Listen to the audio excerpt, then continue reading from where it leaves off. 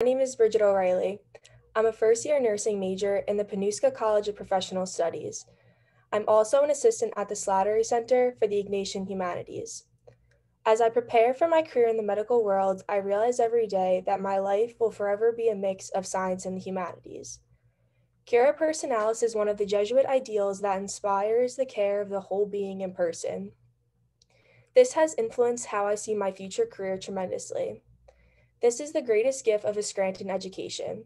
My humanities training here is clearly going to make me a better nurse. I did not know who Dr. Edmund Pellegrino was until this year, but now, as I learn about him and his work, he inspires my career in an even bigger way. Tonight, we have the honor of hosting Katherine Brown Saltzman, a nationally renowned leader in the fields of nursing and healthcare ethics. She served as a palliative care nurse, a bioethics researcher and scholar, a professor of nursing at UCLA, the founder of the annual National Nursing Ethics Conference, the creator of several popular and life changing retreats and workshops for healthcare providers, and the founder and longtime director of the UCLA Health Ethics Center. Our moderators tonight are Professor Kim Subasic, the chair of our nursing department, and Professor Matthew Shea, an assistant professor of philosophy who focuses in part on medical ethics. Thank you for attending, and I hope this conversation enriches you. I will now turn the mic over to Professor Subasic and Professor Shea. Thank you.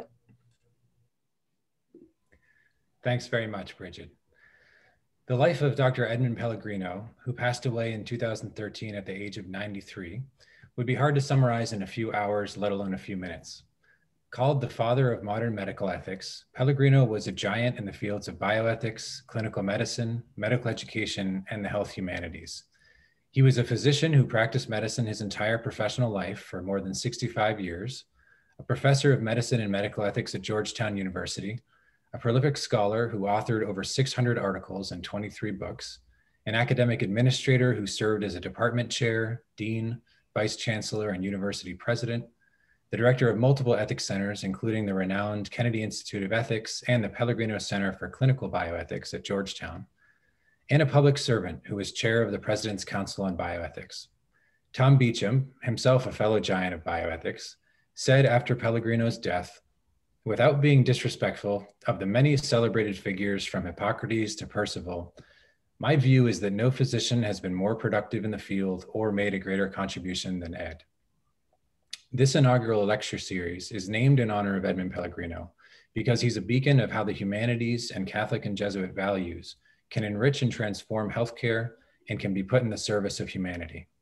His philosophy resonates strongly with the mission of the University of Scranton and the Slattery Center for Ignatian Humanities, especially in terms of the commitment to contemplation and action, a classical liberal arts education, and the holistic intellectual, professional, moral, and spiritual formation of students. He also shared the commitment to finding God in all things and to being a person for others. Reflecting on his own professional calling, Pellegrino said, For the Christian doctor, medicine is always more than a career or occupation. It is truly a vocation, a response to a divine call to manifest God's love for others through fulfilling the obligations of a medical life. Pellegrino has been a formative influence on numerous faculty members, administrators, and students here at the U. And our hope is that this annual lecture series will enable his work, life, and example to continue to inspire and instruct our community. In preparing for this event, I asked Dr. Joseph Raho, a clinical ethicist at UCLA and a friend of mine and Katherine's, who worked with Pellegrino on the President's Council, what made Pellegrino so special. He pointed me to an interview that Pellegrino gave near the end of his life. When he was asked about his view of the relationship between medicine, science, and the humanities, Pellegrino answered like this It is my strong belief that perhaps now more than ever, there needs to be an intercommunication of the humanities and the sciences. Medicine is the most scientific of the humanities and the most humane of the sciences. It bridges the physical state of the human being with her psychological state, and I dare say with her spiritual state, however we define that to be. I think we must bring together the science of the human with what it is to be a good human being and what is the good for humans. Toward this end, the humanities are as important as the sciences. I can think of no better way than Pellegrino's remarks to highlight the value of this lecture series. And with that, let's move on to the main event, our conversation with Katherine Brown Saltzman. I know she has some issues with the term healthcare hero, but Katherine is a mentor, role model, and hero of mine. And we're very honored and lucky to have her with us tonight. Hi, Katherine. I'm going to start with a question for you, if I may. So um, we are we are very glad to have you with us tonight.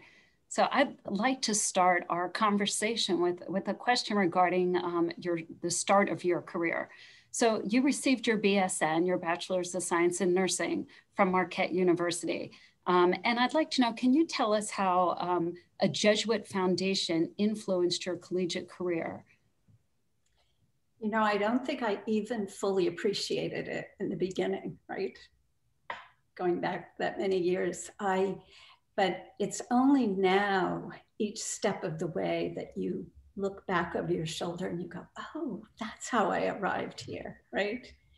It was um, clearly, uh, I came from a Catholic tradition and I did not go uh, to Catholic school when I was younger. Um, and so to be immersed in that kind of environment and to really have this sense of between nursing and the Ignatian philosophy, this idea of to serve, to love, um, to really be reflective in your life and your calling. So it, it had a profound effect and continues to in my life. And I, I truly appreciate it more now than I think I ever did. Um, can you transition, uh, or sorry, can you provide a description of your transition from bedside nurse to becoming an expert in healthcare ethics? So I think that uh, I always have trouble with these words, expert, right? I, I think we, we are always becoming and hoping to be experts. But um, I clearly, I mean, when I first went into my very first nursing uh, position, which was with pediatric oncology. And immediately there were the ethical issues, and they followed me everywhere, right? Uh, certainly into end of life. And that um, provoked clearly those hard questions and um, not easy answers. And ultimately, I, uh, I actually had too many things going with the palliative care and um, the, the self-care work that I was doing, some research, but ethics was always there. And then, uh, you know, I was chairing a nursing ethics committee at UCLA and then co-chairing the ethics committee. And uh, I had really the privilege with others to co-found the center. And um, it, it became very clear to me that I needed to hone down what I was doing, especially in in those final years of intense work, it was the question, what ought I be doing right now? So really um, pruning, pruning that incredible field and figuring out uh, where to focus. And it felt as though ethics had been such a piece thread throughout the tapestry of my life that uh, and my work that I thought this this is the time to really focus on that. And I had that great opportunity. Katherine, can you talk a little bit about your own experience with the humanities and how great books and art um, has shaped you as a healthcare professional? And um, I'll say for the audience, you're a poet uh, in your in your spare time. Um, and so, if if you want to talk about how that's influenced your work as well. Sure. Yeah, I and I think you know that's that would be a great Pellegrino question, right? Because I, I think he truly recognized that um, if if I mean this, you're in a sense you're so split, right? You have this. It's almost like being schizophrenic in some ways. The sciences, which make you a bit of a skeptic, and then you have this other piece, the human flourishing, right? And so to, to have the privilege of, for example, having a liberal arts education along with my nursing clearly opened that part of me. And um, so all of those pieces, uh, the, the, literature certainly, the poetry has been very profound for me. I'm married to a uh, musician, composer, music editor, and I think that was a bit intentional uh, to enrich my life in that way and balance my life in that way, uh, to bring that into my life. Um, so I think that all of those pieces had, uh, and continue, I will say, didn't just, they weren't just at one time in my life, they've continued to grow. It's funny because as I was thinking about this, one of the, the things that I read uh, during my junior high years was uh, Death Be Not Proud. And a very profound book. And I, I really believe that that's one of the reasons that I chose nursing. Um, so I think these books truly can guide us um, and really help us discover, and, and also the spiritual books, right? That, that open us up and bring that reflective place. Um, but even fiction, right? How it, it, I think it, it can enter you in a different way. Um, so when you read nonfiction, it's, it's, you're right there with it. But when you read nonfiction, when you read a novel that brings you into that emotional life in a different way, and it creates that perspective of being outside of oneself and hearing the different voices. So I think it's it's just critical that we uh, Pellegrino that he was devoted to that, right? Yeah. Katherine, I find your use of the word that the book, that we enter into the book, that we enter into the conversation that's occurring within the book, and I guess within your mind as well. So um, you, you referred to um, Death Be Not Proud. Do you have others that you, you consider your top favorites and how yeah. they might have influenced you? Okay, so I'll, I'll talk about a, uh, certainly a spiritual book. Um, Kathleen Norris's work uh, had a, just a wonderful, um, I try to get to the monastery every year. And uh, her work, when I came upon it, was, whew, it, it just helped me find another access point to my spirituality. Yeah. Thank you.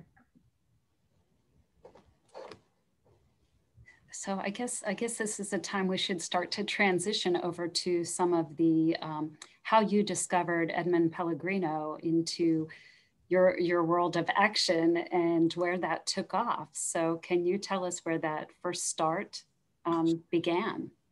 I had the privilege of attending the uh, Georgetown uh, Bioethics Intensive course, and of course he was there.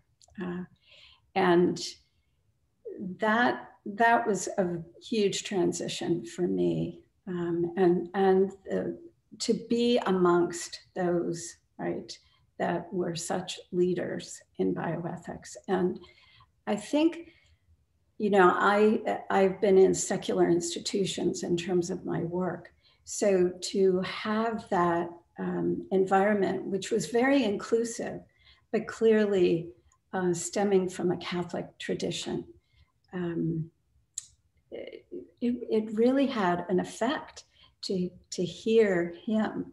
We also had the wonderful opportunity of having him come uh, and, and speak at the UCLA Ethics Center.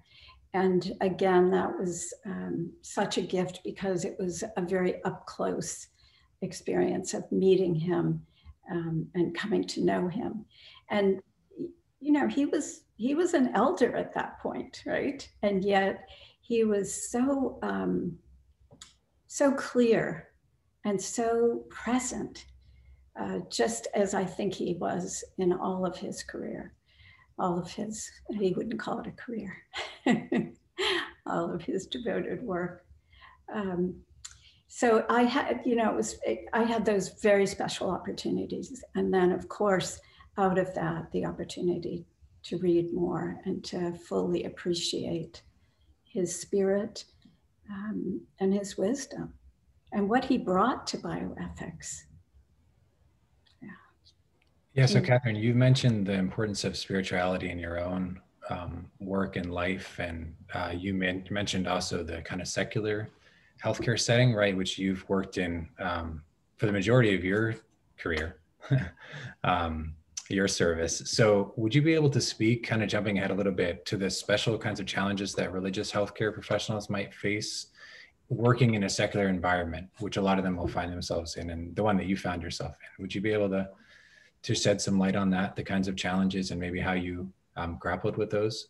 Sure, that's a good question, and I, I think you know, there um, there were times because actually all my experiences were in secular environments, other than when I was being educated. Um, and there were times when I thought, "Gosh, I've kind of chosen a hard route here, right?"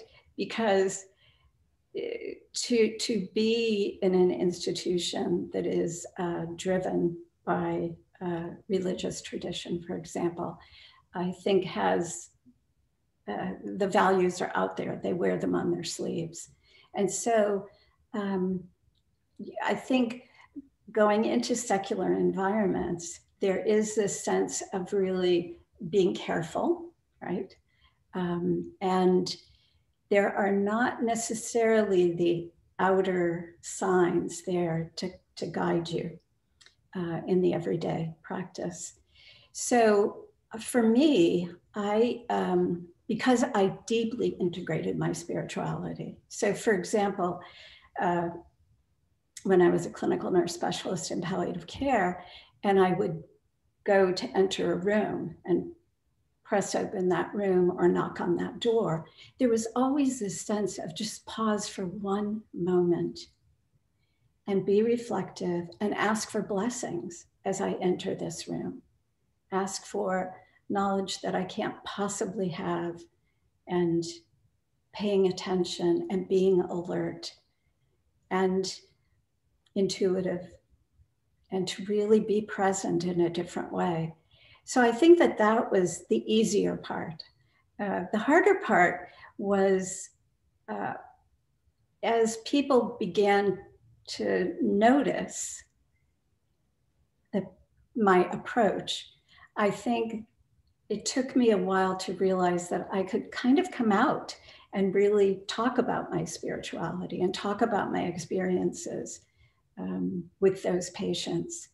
And I think that because my spirituality was so important, that formation, that my vocation, that it it was integral across the board. So it was whatever I was doing, um, those values were there on the table. And it began to be recognized. And I think uh, the funniest moment for me um, in my career in terms of spirituality was when someone essentially pointed to me and said, Oh, Katherine should handle that because it's a spiritual issue. And I, I was a little shocked because I realized at that point that I really had become known but it's not it's not necessarily an easy thing because you are um, you are carrying a lot and you particularly when you move into more administrative roles uh, you you walk this very fine balance of, of integrating keeping intact all those traditions that have come behind you right and you bring forth. Katherine, how do you um, how do you bracket those those feelings? How do you uh, what advice would you give to new new graduates uh, of our program going out into the healthcare setting? How do you bracket those those paths when you're dealing with um, a difficult patient or a patient that um, may be in the hospital, but they're under they're they're under circumstance in which you don't um, align with, you know, whether it be a prisoner or some other some other avenue. Yeah. How, how do you tend to those and, and keep that spiritual awareness? Well, I think um, uh, in in some ways that's the easy part because you you are you are called to love, you are called to serve, and um, I always found what some people call challenging patients to be not challenging as much as to be understood. to be heard. And so for me, it was always about let me hear their story. Let me find out what's happening here. And there was always a story that would literally just break open an empathic heart and, you know, and then you could and then you could process it and you could be really creative in how you responded. Mm-hmm. So um, I'll tell you where I had a hard time bracketing it was when either healthcare or an individual practitioner did not demonstrate respect or love or skill. Um, and then I then I would have to say nasty things to myself about such, you know, showing up in that way. Um, so it's not it's not that I don't have those raw feelings, but from I can't ever remember, honestly, a patient that I didn't find a way into my heart with. And I think that that's, you know, if you if you're very intentional, uh, it's it it becomes very easy. It's that, you know, and I think Pellegrino would say that too. It's it's those eyes wide open, right?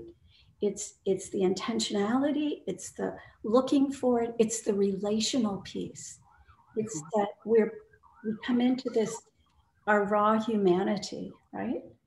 Um, theirs and ours, as well as our colleagues. We're all bringing it to the table. How do you how do you bounce around that um, when when we have these time constraints? No, no matter who you are in healthcare, anywhere from the dietitian on up, um, we are all under extreme tight constraints. So how do you how do you find time to get to that person to to really understand where their start point is and what their true needs are? What's your advice there? I will tell you, I I, I get it. I felt like I never had time, right? Uh, so I get that, but I I also think that if we have this sense of taking time and when we take time, we enter into relationship and we build trust. And once that happens, and that can happen in minutes through your body language, through your connecting with the eyes, if you walk in there and you are fully present, what you can accomplish in, in minutes is astonishing. I also think it's bigger than us. So that's another piece of my spirituality. I think when I carried it all on my own shoulders for years and years and led to burnout, um, I began to realize, you know, there's more to this. It's not just me showing up. And in fact, um, I, at one time when I was quite burned out and doing everything possible to refuel myself the, the reading of good literature the you know the music the poetry whatever just feeding myself right? Being out in nature um, going to church prayer all those things. I was in church this one time just uh, just i didn't even couldn't even pick myself up. I was just so despondent about the fatigue and and just stretched. And uh, they were reading the old story that we've heard a million times, right? About, you know, the, the loaves and the fish. And I remember sitting there kind of with my head just down and my head just sitting up because I'd heard that story a million times. And suddenly it was like, oh my God, I'm the loaves, I'm the fish. And there's only one of me. So I need to incorporate this idea of blessing that my life, my work, my showing up in that moment is, all, I can only give you this much. Some days I can, oh, some days I'm full and radiant. I can give you everything, but other days I've, I can just give a little bit. And this recognition that they're to call on others uh, and to call on God to bless that and multiply it. And it's pretty astonishing when you open yourself in that way, right? Yeah, that leads to another um, thought, Katherine, that maybe you can speak to. So you've talked a lot about how your spirituality comes into play in the patient-facing side of things, um, and I'm wondering, since you've done a lot of work in moral distress and burnout and self-care for providers. What about um, kind of providers taking care of them, their own selves in terms of spiritual practices throughout the day, or the idea of taking time for a Sabbath or kind of a rest, or the kind of um, professional facing side of things? Could you say a little bit about that dimension? Yeah, I. It's just it's so critical, and it's um, it's so difficult. So this idea that we never have time, right? And we we have to dedicate ourselves essentially uh, to taking that time and recognizing it's it's in a sense a lot of people the way they justify it to do self-care to honor themselves is to say well this this way i'll be a better nurse or i'll be a better physician or better parent or whatever. But the truth of the matter is i'll be a better person. And and that we deserve to be able to show up in that way and to be better people for ourselves and in the world. So i think even that perspective of not just doing it for the other but that we are given this one gracious life and it should be well lived right? So i um, i will tell you in the work that i have done the healing work uh, with healthcare professionals, it has astonished me the pain that they carry and this sense of never having an opportunity um, or taking the opportunity to do reflective practice, to think about what they're doing, to feel the grief, to honor it, to um, to forgive themselves for the times that you know they're. I, how often have I heard someone say all the things they didn't do and never mention all that they did do in a given day, right, to care for others. So, um, but again, I think that it's really in, in, the retreat work that I did, we really integrated the arts, um, movement, dance, uh, art, meditation, uh, spirituality, because I think that often healthcare professionals, that is not integrated into their lives. So um, it's, I think that's a, a, critical piece. And I, I think that our institutions are not very good at this. I'm really hoping that um, as we move out of this pandemic, that we as a society and as institutions begin to recognize um, President Biden just, I loved what he said about uh, putting funding into the infrastructure. And he talked about the infrastructure not just being bridges, but people, people that care for children, the people that are uh, caretakers of the elderly. And I think that that's the kind of shift that will begin to honor and not not as we said not just call them heroes but to really honor these people and recognize their their own humanness and their own needs.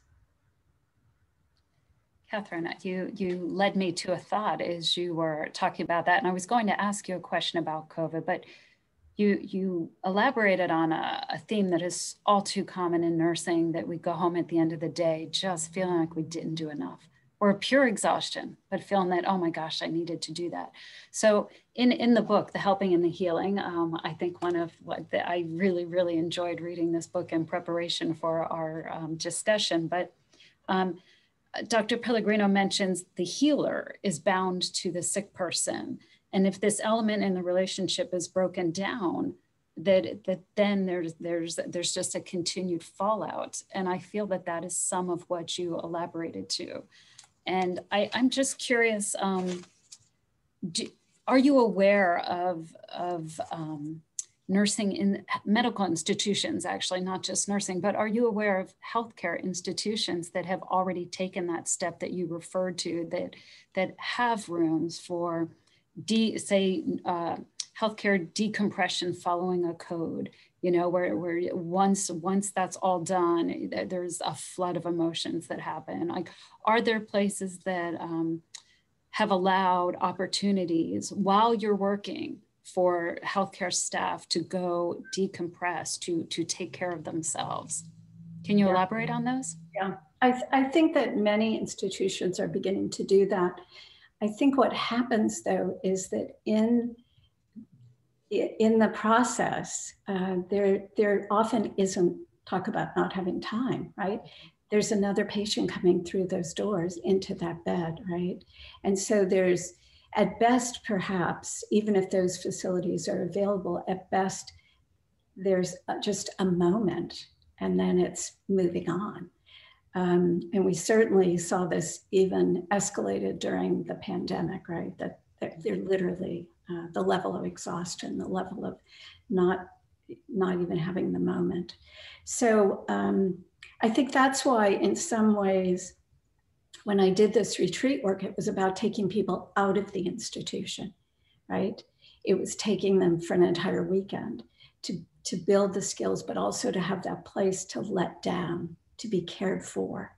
And so I think that while we can build some of that in, the, the logistics are such that we also know how efficiently these institutions have to run as businesses. And so um, let's face it, we are we are seeing nurses even being laid off during the pandemic, right? Uh, so pediatric nurses, for example, in some institutions were literally being laid off. So there's this sense of we only need you when we need you, right? So we have to we have to round out our institutions to not be so so lean and mean. We have to recognize that, for example, perhaps people in healthcare need sabbaticals and that they could take on a project, even for six weeks or a month, that would be filling them up, um, exposing them, getting them out of the intensity of the environment, exposing them to an, a, a whole new framework with support and accomplishing good things for the institution and for patient care. But we don't think that way, right? In fact, we call nurses up and we cancel them. Mm-hmm. That's routine. That happens all the time in our institutions. And it's wrong. It's just, it's not, it's not a professional way to respond, but it's become the norm. So I think it, Kim, it really is going to take, and I, I'm actually hoping that the pandemic, the ashes of the pandemic, gives people the opportunity to step back and reflect on really what, what are the ethical practices of supporting all healthcare professionals. We see it in physicians. I mean, the rate of burnout is so significant in physicians. And it's not just people leaving the profession, that's bad enough.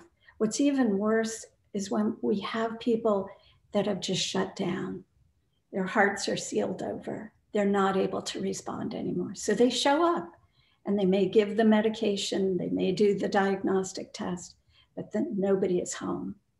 And we all know that healing is about that relationship showing up with the empathic presence. So much healing can occur during an illness beyond the physical, right? So I think we have some soul searching to do, and I think um, we shouldn't put band aids on it. I think we really need to be reflective and responsible and accountable for how we move forward. So time is going very quickly as we knew it would. Um, I want to make sure I get to, to an ethics question. Um, so Pellegrino, as we know, was a you know real leader in the field of medical ethics, and you've worked in that area for a long time. So, from your perspective, what are some of the moral problems or challenges or things that need to be improved in terms of both the clinical setting, but also the education of healthcare professionals, and then maybe some some ways that we might go about improving some of those things? Sure. Um, so I think that education is still truly lacking. And and it, it's not just education, but good education, right? So, for example, so often what we're seeing in um, schools, people are just taught the principles, right, and the rules. And Pellegrino would have something to say about that, wouldn't he? that that uh, it's it's so much bigger than that when we ask these questions, what we ought to do. So I think part of it is that we need a, a better way of finding and preparing faculty to really teach good, solid ethics, right? Um, and that we're not there yet. So often, what happens, somebody is grabbed to fill in to teach ethics, right?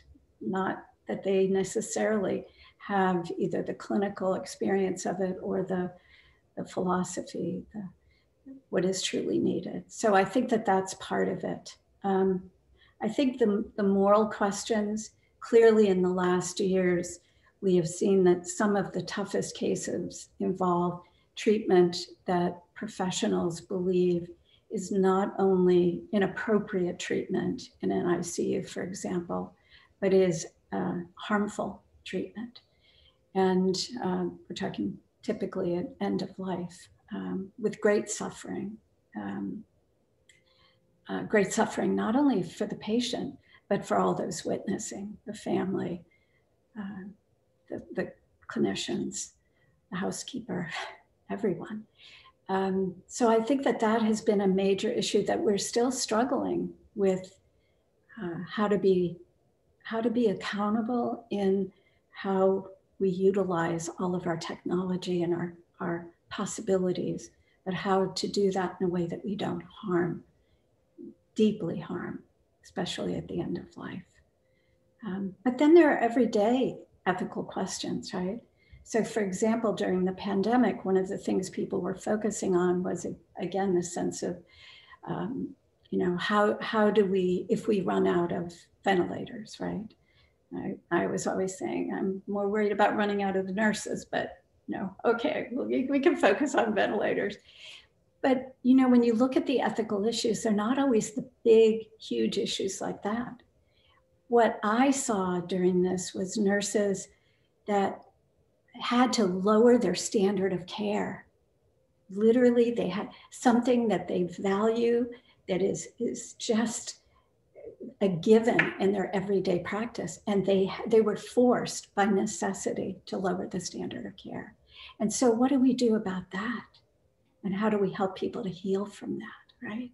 And how do we also reorient them in that way? I if if we have time i'd like to share one story um, that i think perhaps will will bring uh, will bring to light how we can show up every day in ways that we don't expect in healthcare. Do we have time for that? Yes. Okay. So I was going to do an ethics consult on a liver unit, adult liver unit. And I get there and the patient, uh, because of being encephalopathic, was uh, not able to engage at all. And I just didn't have the capacity to have that conversation. And so it was the end of the day. I was pretty tired and feeling like, well, that's good. I can go home. And I'm walking down the hallway and I hear screams. I mean, blood curdling screams. And I realized it was a child, not an adult. So I stopped and I thought, okay, this isn't even my unit. I don't belong here. I should just keep walking. And it was like, no, no, I can't do that. And so I walked to the door, took a deep breath. The screaming was continuing, and I knocked on the door and entered. And there was a child there, a 12 year old child, who it turned out had fallen through uh, glass uh, and been cut practically their entire body and had been treated and fortunately had survived, but had sutures all the way down their body and trauma. She was a beautiful, beautiful girl.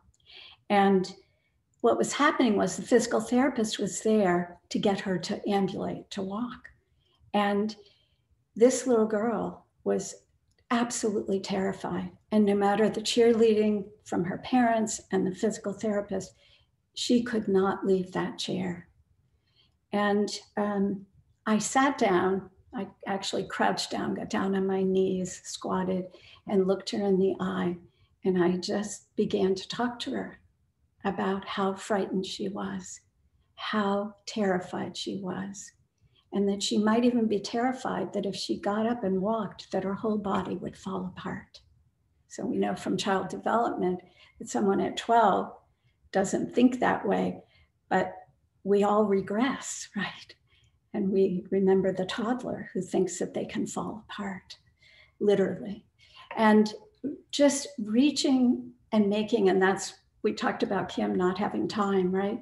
Within moments, with eye contact and gentle touch, and really being empathic, this child connected. And I was able to really coach her and not in a not in a rah rah way, but in a sense of understanding what she had been through and how that fear was keeping her from being able to move and how we could we could take care of that hurt in her.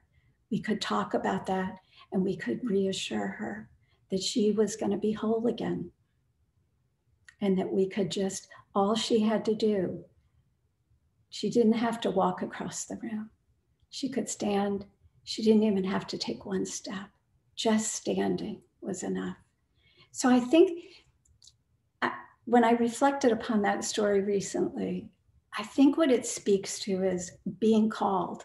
And we think sometimes that we're being called to certain things, right? I'm there to do an ethics consult. That's where I think we have to open our hearts and our minds, our spirits. And we really in healthcare need to show up where we are called to in that moment and trust how we are called. Um, that little girl later in an outpatient visit told me about how she was going to go into healthcare um, someday. And, you know, that's what healing is about, right? That was the healing moment for her of just bringing it together in a way that she could feel safe, safe enough to take a step, which she did. Katherine, can I can I backtrack to uh, previously? You mentioned you you were um, you worked in a pediatric oncology floor, and certainly with any type of nursing, you're you're or any kind of healthcare, you're you're tending to the family. But I think in nursing more so than some other healthcare professions. So my question to you is: in a pediatric oncology, tending to a sick child is difficult. Period. Um, but then to have the family and anybody else that might be involved in that. Um, how, how did you work through that? What, what was your source of staying focused and, and keeping yourself well, well and healthy in the meantime? Yeah. You know, I think that with um, parents, we have to recognize, I mean, their job, what they see their job is, is to protect a child, right? And so that's the lens they're looking through. And that can make it difficult when you're um, either doing things that are hurtful, right? Difficult for a child. Um, it can also be difficult at end of life when parents really can't come to terms with allowing death, right? So, again, I think that um, you have to enter into that place of really understanding what these parents are going through and um, allowing, you know, uh, allowing the fact that their pain is so immense because their one job in life that they see as essential has been brutally um, taken away from them in many ways. And there's all those spiritual issues also, right? Because it's a child and so, how, you know, if we ask the, the basic question, how could God do this? Mm-hmm. You know, how? Explain this one to me, the, the suffering of a child.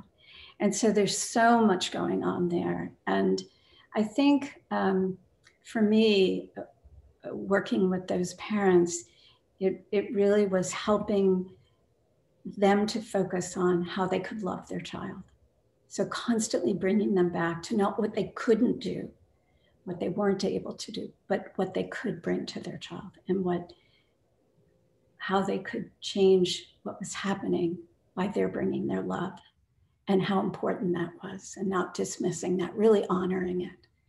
Uh, so I think whenever you're doing that kind of work, very conscious, deliberate, assessing, heart work, right? You, I think uh, it's not that you don't witness the suffering, but I think you become a part of it in a way you're not fixing it, you're entering it and you're being with it. And you find ways to help people through that. Um, that in the end, they're a little bit more whole despite the terrible things that happen.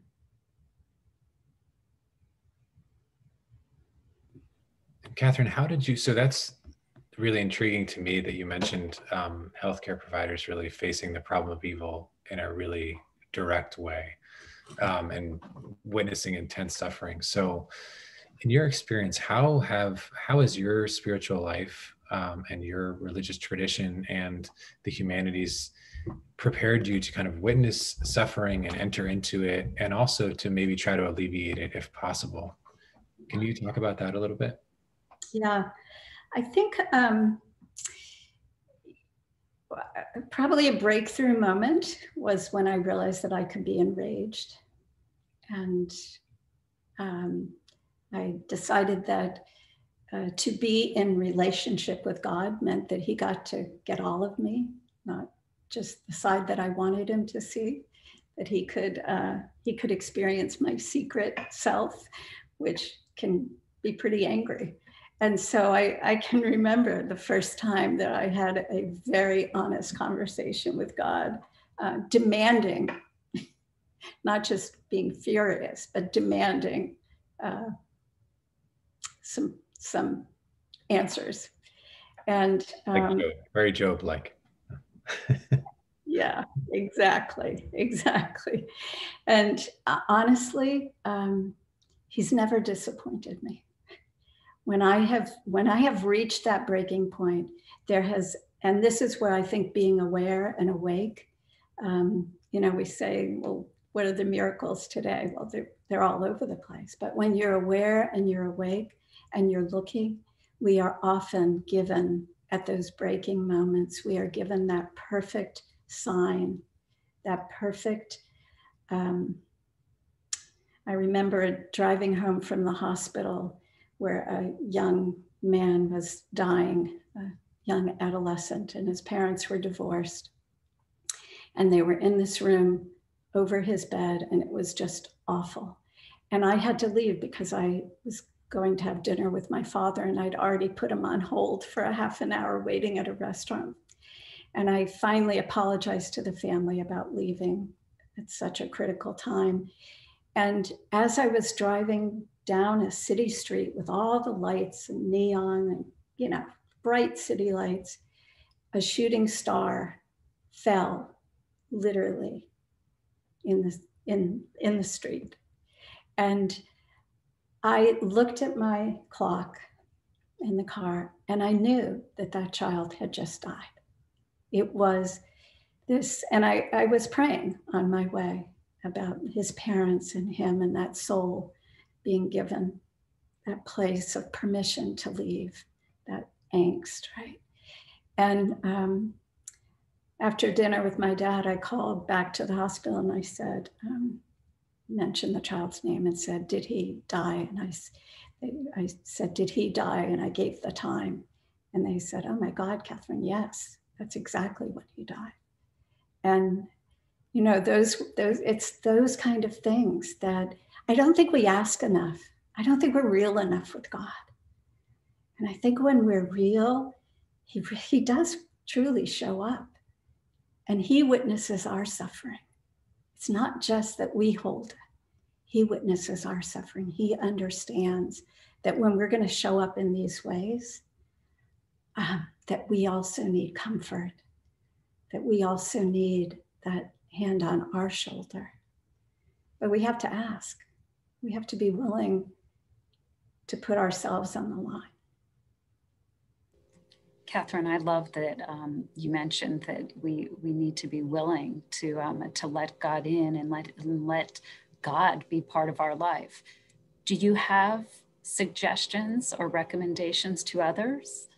With I mean, even outside of prayer, I think you already referred to that you pray, but can you give us some more examples, some some even small suggestions for us, little bit by little bit, you know? Yes, yes.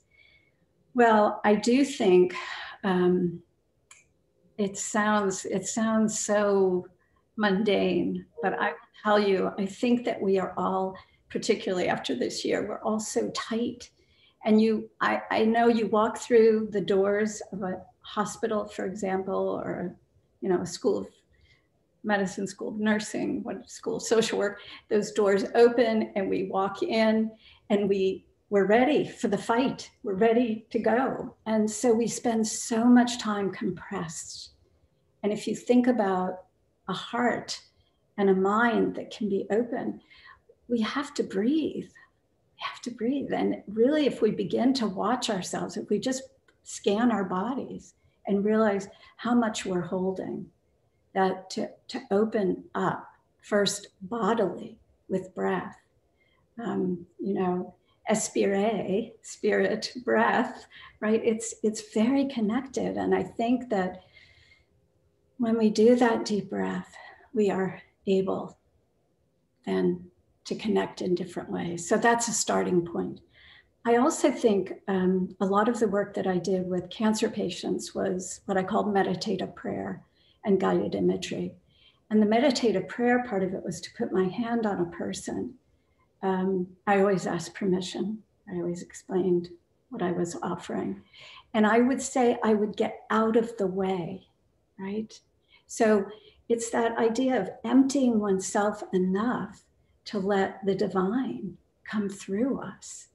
And um, in that process, it was really a, a tremendous um, evolution for me of, I think, opening to what, what we can be given. So, for example, I would be given images in that moment, and I, I would balk at them sometimes. I'd say, "You've got to be kidding. What, what I'm going to do that imagery with this patient, you know? And I would, I would give up and say, Okay, all right, I'll do it. And again, this image would be just remarkable. Um, perfectly suited for that person, even though it seemed ridiculous when I started. So I think that, um, you know, that kind of, so prayer is often that uh, asking, often, right? But the more reflective place to be filled, to ask for the grace to be filled and allow the space to just to stop the asking and allow the space for our our souls to be given the message, to be given what we need. I don't know if that's helpful, Kim, but I, I extremely helpful. I, I, I almost wish I could say repeat that, but I I think it just comes natural to you. Um, but thank you for that guidance, um, and I, and I really hope that everybody listening can take just a pearl of wisdom from what you offered this evening. Um, there were so many. Um, and, and I really do thank you for your openness and your in your honesty with regards to your personal situations, um, with regard to work and just your own, just in, in your own daily being. So thank you very, very much. Thank you. It's, it has truly been a privilege to be able to come and, and share and to be under Edmund Pellegrino and his how he has blessed us all with his work and his life. Yeah. I guess at this point, I don't know if there are any more questions from the audience. Um, Matt, have you, do you have any to a, a, final question, a final closing? There are too many questions. Um, yeah, somebody, uh, there was a question maybe that's good because you've told a lot of stories here tonight. Katherine, I know you have a lot more. Um, so these stories come back to you, but uh, someone from the audience asked, how did you kind of keep track of these stories? Do they, and when do they occur to you at particular moments, or do you keep a notebook or a journal or something about them? Or how do the stories of these patients fit into your life? Because clearly you carry a lot of those with you. Uh, so I have to laugh. I never had time to journal. uh, so I didn't write the stories down. Um, I, but they live in us, right?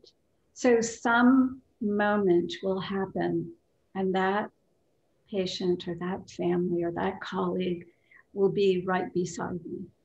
But I, I think part of that is being attentive in the moment.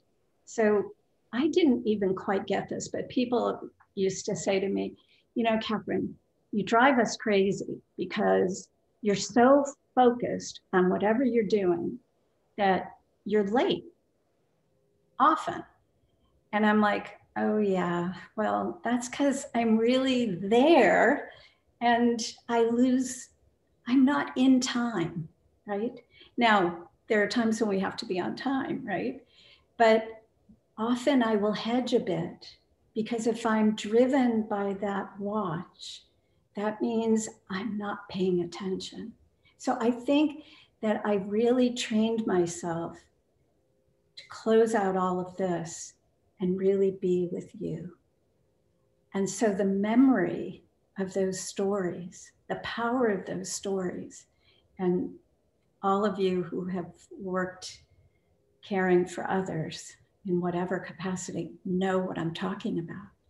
Those stories become woven into our lives. And I think we honor them when, when we recall them, both, both in terms of our own vocations and work, but also, you know, in honoring those people that interwove their lives with us.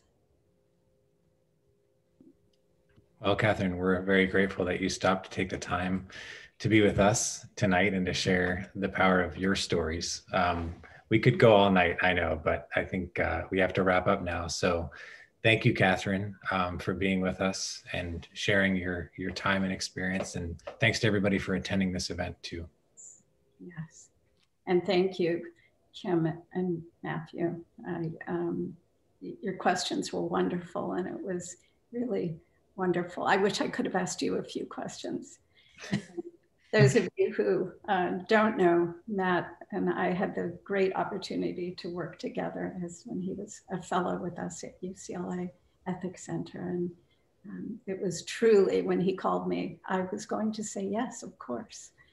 Uh, he, he deeply impressed us, and we are so glad that he is with you. Thank you, Katherine. Thank you, Katherine. We appreciate your time this evening. Thank you. Thank you.